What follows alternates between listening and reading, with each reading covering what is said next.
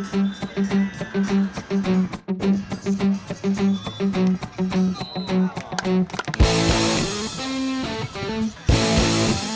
mean, it's kind of a completely different game. Yeah, you have to pass, set, hit, to do everything. It's remarkable. I, I think we, we had no expectations coming into it, 3 o'clock on a Wednesday, you know, but, but yeah, we had some people and hopefully they come back. I think it's a good environment. I think it has tremendous potential here at ASU.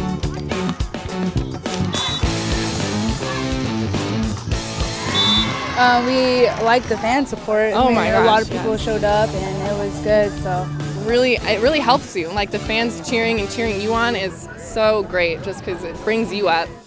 We came with our sand volleyball team from St. Mary's and we're all together. It's nice to see them loosen up from instead of indoor where it's so like competitive. Like this is more like a fun atmosphere, so they can uh, loosen up and like show us show us how much they love the sport of volleyball. Go Devils!